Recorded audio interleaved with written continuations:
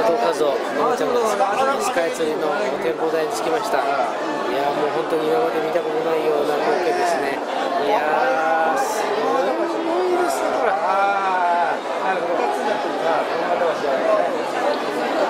ちょっと本当にこの川の周りはちょっと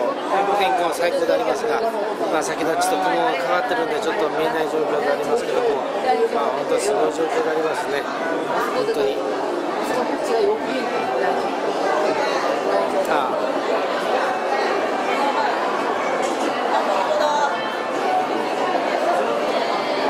こに見えるのは東京タワーだと思うんですが、そうですね、これ東京タワーだと思います。でもちょっとかなりこう雲というかガスがかかってるのでちょっと見えにくいですけども、東京タワーのようでありますね。本当すごい状況であります。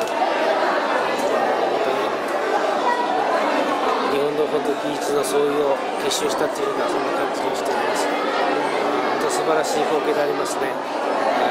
まあ、もっと天気が良くて雲がなければ最高だったと思いますけど、でもそれにしてもすごいと思います。